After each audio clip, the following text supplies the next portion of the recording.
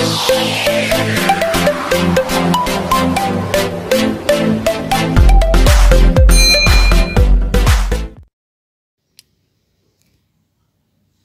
everyone, I hope you are pretty well today and ready for a new lesson. And in this lesson, I'm going to talk about count noun and non-count noun. Um, without more ado, let's get into it. Um, first of all, what is a count noun? Um, a count noun is the name of something that can be counted. Examples, one book, two books. And what is a non-count noun? Um, a non-count noun is the name of something that can't be counted. Examples, milk, freedom, justice, flour, water. Um, now, let's find some rules to guide us. Rule number one. Use the article a or an with a singular count noun.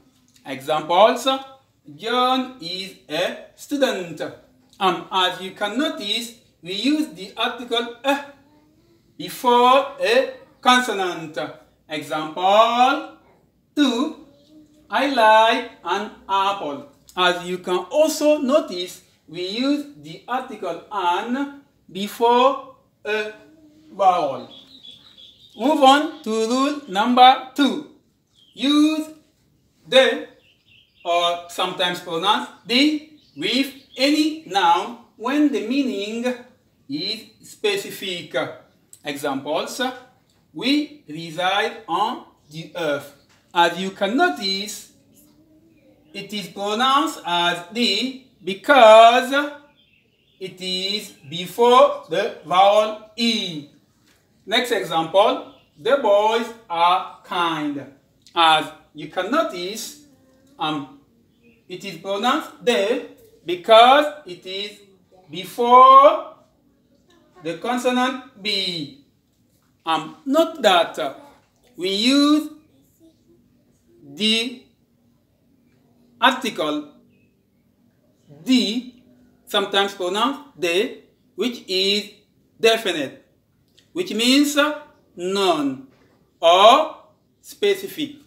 However, we use the article a or an, which are indefinite article, which means something which is unknown, like non-specific.